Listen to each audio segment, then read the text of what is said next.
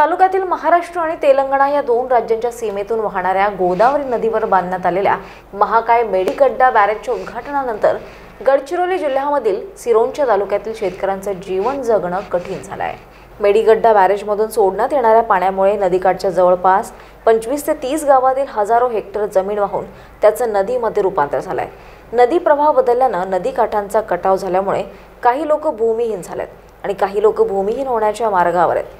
तीनशे शेतकऱ्यांचं नाव प्रकल्पग्रस्त म्हणून मंजूर केलेत. श्यामबेज जनवार स्टार महाराष्ट्र न्यूज गडचिरोली.